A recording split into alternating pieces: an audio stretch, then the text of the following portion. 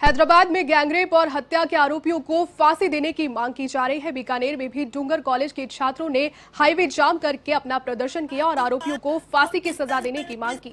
छात्र नेता रोहित बाना ने बताया कि सरकार महिलाओं की सुरक्षा के लिए बड़े बड़े दावे करती है, लेकिन एक भी दावे पर सरकार खरी नहीं उतर पा रही है।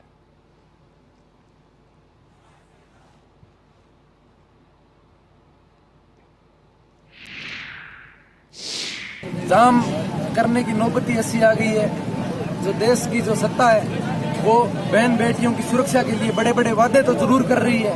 लेकिन उन वादों को पूरा नहीं किया जा रहा है। आज पाँच साल की बच्ची, तीन साल की बच्ची, बारह साल की बच्ची के साथ में रेप हो रहा है। हमारे देश के अंदर तो बेटियाँ कहाँ सुरक्षित है, ये बताएँ?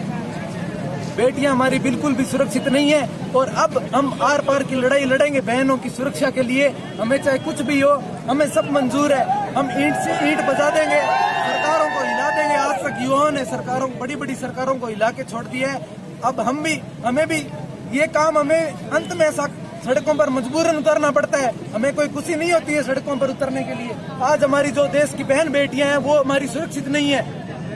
तो आप क्यों बड़े बड़े वादे करते हो? मैं जो बड़ी बड़ी सरकारें हैं, उनसे कहना चाहता हूँ कि बीकानेर के अंदर आज जो शुरुआत हुई है, कल हम जिला कलेक्टर के ऊपर सबसे बड़ा युवा पड़ाव डालेगा और उसके अंदर संभाग के सभी महाविद्यालय के युवा, जनप्रतिनिधि और जितने भी युवा हैं, वो सारे